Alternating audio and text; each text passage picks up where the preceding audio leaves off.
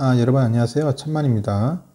오늘은 그 삼성전자 관련된 얘기인데 법인세예요. 법인세. 기업이 돈을 내면 돈을 벌으면 세금을 내겠죠. 작년에 삼성이 법인세만 거의 한 10조 냈어요. 10조. 대단하죠. 10조 가까이 냈고요.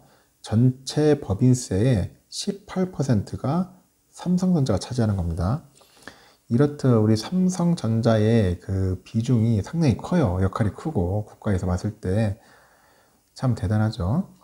이때 SK 하이닉스가 한 1조 4천 되겠고요. 700, 신한지주가 1조 2,500, 네이버 4,900, 삼성 SDS가 4,300억, LG전자 3,900, 기아차 3,500, LG생활건강이 3,000억 정도요.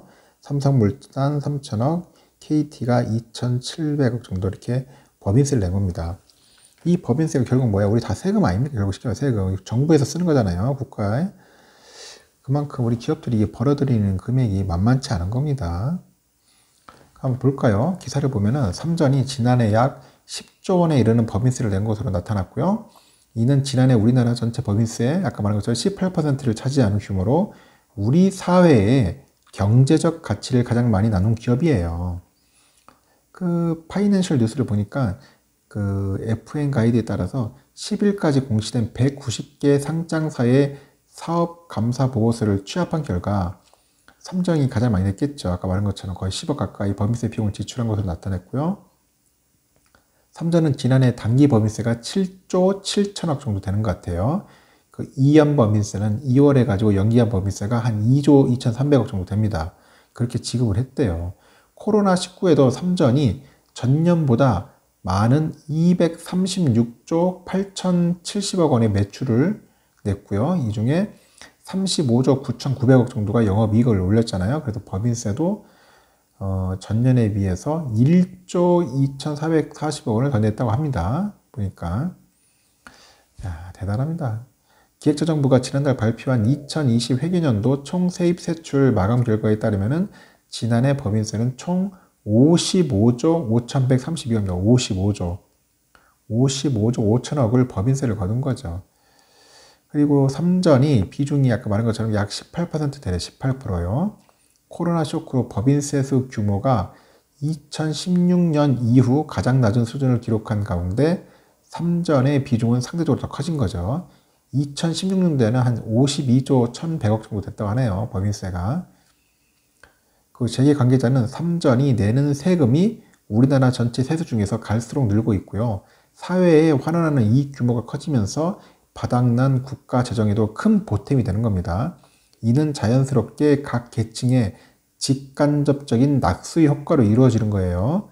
그 주요 기업들과 비교해봐도 삼성전자의 법인세 규모는 아시겠지만 압도적이죠.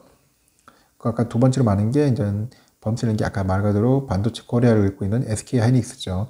이렇다 이렇게 기업이 많이 내면은 정부에서도 우리 기업들을 많이 도와줘야 돼요. 그래야지 기업들이 자꾸 국내에서 공장 짓고 그에 필요한 인력도 채용하고 여러 가지 막 경제적인 혜택을 국민들이 누릴 수 있는 거잖아요. 근데 자꾸 힘들게 하면은 기업들이 자꾸 해외로 나가버리면 어떻게 되겠습니까? 결국 우리 일자리도 없어지고 우리 양질 일자리가 없어지는 거예요. 결국 우리는 수익도 감소되겠죠. 법인세 줄어들겠죠.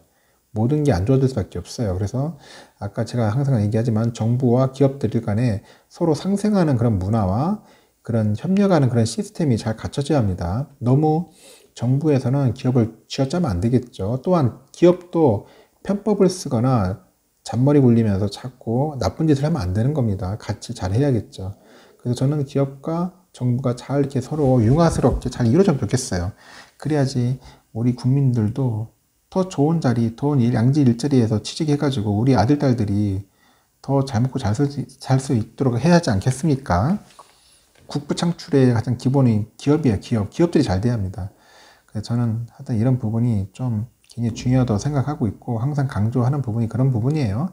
정치적으로 해석하지 마시고 경제학적으로 한번 해석을 했으면 좋겠습니다. 하여튼간 삼성전자 대단합니다. 3존의 큰 역할 우리 정부가 잘 기억해 주면 좋겠고요. 앞으로 정부에서도 어, 적극적으로 좀 지원 좀 해주십시오. 기업들.